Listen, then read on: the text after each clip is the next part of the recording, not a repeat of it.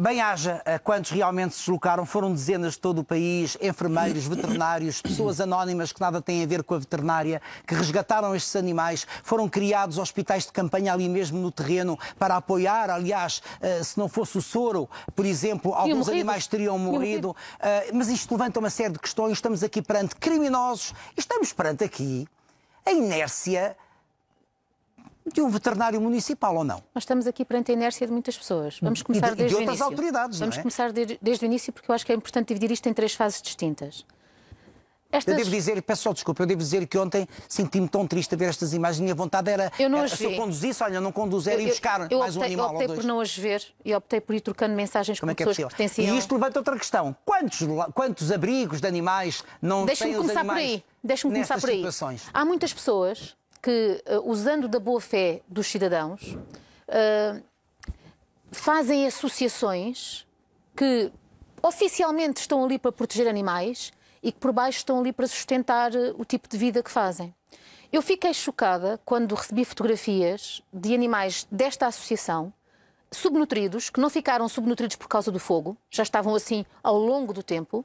E se vocês acederem ao site desta associação, veem que a mesma, verificam que a mesma vende rações. Cantinho quatro patas. O Cantinho Quatro Patas, acedam, se faz favor, vende rações de diversos quilos a diversos preços. E Possivelmente, eu as pensei rações, assim, possivelmente as rações que angariam em eu campanhas pensei de assim, solidariedade. então as pessoas estão a dar a este tipo de associações, não confundir estas com as outras, Sim. a floresta com uh, a árvore, porque depois as pessoas podem se retrair e Não, quem não. sofre são as associações muitas legítimas. associações meritórias a fazer um trabalho E que manifestamente não é o caso desta, porque esta já está Destas sobre a mira da justiça há muito tempo, desde 2017, pelo menos. Mas então e não é uma fez só nada? Ah. queixa, são muitas, já vou, já vou a seguir. Portanto, por favor, verifiquem a desfaçatez com que uma associação tem animais subnutridos e se ervora de vender rações a outras pessoas para almejar o lucro. Isto, em relação a isto, estamos apresentados. Em relação à motivação verdadeira da existência desta associação, que do meu ponto de vista nada tem a ver com os animais, estamos apresentados. Eu tenho um cão subnutrido e estou a vender rações para fazer dinheiro. Pronto. Primeiro ponto. Segundo ponto. Em 2017, quando múltiplas queixas chegaram ao Ministério Público, foi aberto um inquérito para a, a investigação dos indícios do crime que estavam aqui em causa, que era de maus tratos. O processo foi arquivado. E foi arquivado porque houve um relatório de um veterinário que veio dizer que efetivamente aquilo tinha as condições necessárias para continuar a elaborar. Quando nós temos relatórios que são feitos desta forma, com múltiplas motivações, que não aquelas que são verdadeiras, que é a proteção e a salvaguarda do interesse dos animais, é difícil chegar a qualquer lugar. Mas também gostava de dizer Mas outra agora, coisa. mas esse veterinário municipal, eh, o atual, não sei se é o O mesmo, que esteve no fim de semana, eh, eh, pois não deveria ter estado ali no terreno? não acha que sim. Todos nós sabemos que sim. E, ele e esteve- mesmo alguém da autarquia, Não, mas ele esteve. Deixa-me explicar-vos como é que aconteceu. Mas ele esteve. Aliás, eu gostava também de dizer uma outra coisa. Ele esteve, quem é o veterinário? Esteve o veterinário municipal e é por causa dele que os animais não foram retirados também. Já vou explicar porquê.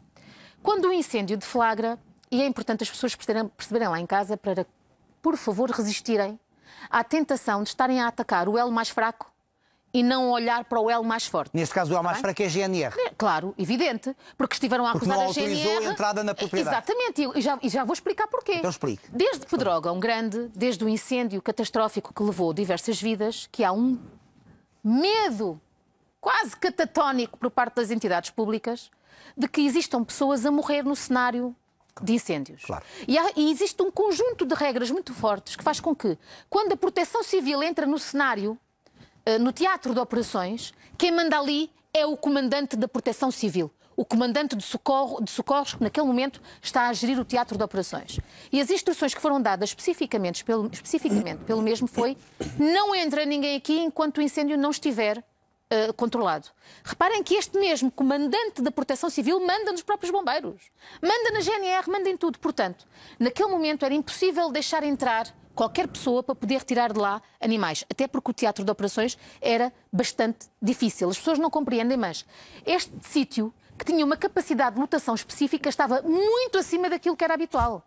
Os cães estavam presos, alguns deles nem sequer a correntes, alguns deles até a cordas de plástico. Estavam presos nesse Exatamente, estado. exatamente. Nesse- e pior, quando o fogo estava controlado, a proprietária do mesmo deslocou-se ao local, o, o- o veterinário da Câmara Municipal, e disse: Bom, retirem-se os animais que já foram retirados. Já agora, a propósito, quando estava o cenário de fogo a decorrer, foram os militares da GNR que salvaram 110 cães e isso nós não podemos esconder cães debaixo do tapete. Claro. Eles estão distribuídos, há uma lista para saber onde é que eles estão, como, quando e com quem, em diversas associações. E ontem foram resgatados mais de Graças a Deus, por pessoas que voluntariaram-se para fazer e, isso. E entretanto morreram Mas mais porquê? de 50. Mas porquê? Porque o, o, o veterinário disse, essas já saíram, esses animais já saíram, estes que aqui estão podem cá continuar e vamos retirá-los quando estiver dia uh, para diversas associações.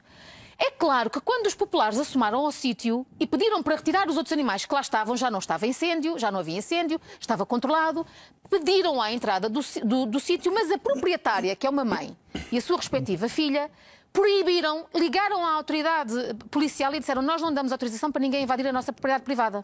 Porquê, Manuel Luís? Porque não queriam que as pessoas se apercebessem, das é a minha convicção, das precárias condições que elas lá tinham os animais. Eu, eu, acho que é por isso. Porque quando nós gostamos de animais e nos dizem há pessoas que querem entrar dentro da sua propriedade para poder resgatar animais, nós dizemos sou eu que vou abrir aquela porta. Mas não. Pedir, exigiram, porque é um direito que têm, na qualidade de proprietárias que, têm, que são, que não entrasse ninguém naquele local. E a Guarda Nacional Republicana esteve lá para salvaguardar o interesse Uh, uh, da propriedade privada que de facto aqui existe. Há uma figura chamada Estado de Necessidade de que se poderia lançar mão dizendo-se o seguinte: quando há um perigo iminente e atual, eu não tenho outra forma de almejar o mesmo objetivo que é salvar a vida de um animal. Eu posso violar a propriedade, porque a propriedade, as coisas estão abaixo das pessoas.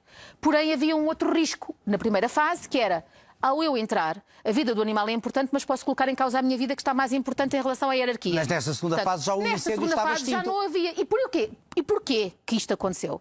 Porque a respectiva proprietária do local não deixou entrar. E a GNR o que é que fez? E muito bem.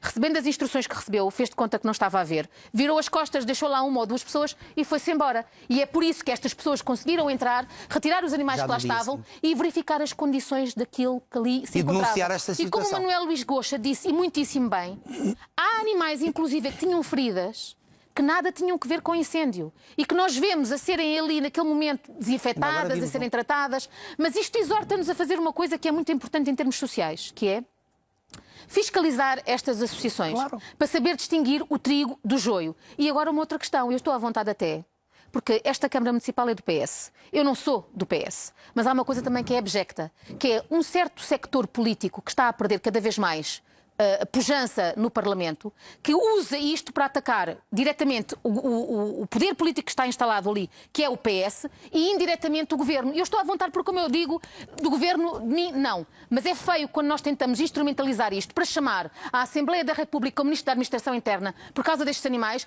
Eu não sei onde é que estão esses mesmos partidos quando insistem em não apresentar de forma eh, com sucesso alterações à lei que permitam que eu, por exemplo, possa salvar um cavalo, porque no meu planeta um cavalo não é menos importante que um cão. Estamos a falar das proprietárias, portanto, que vão ter que responder por este crime. Crimes de maus tratos, Manuel Luís, pena só vai até dois anos. Pois é.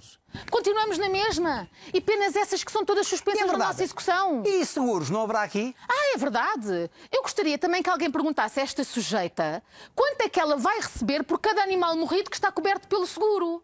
Porque se eu receber, vamos fazer este raciocínio. Conta-me um passarinho este raciocínio.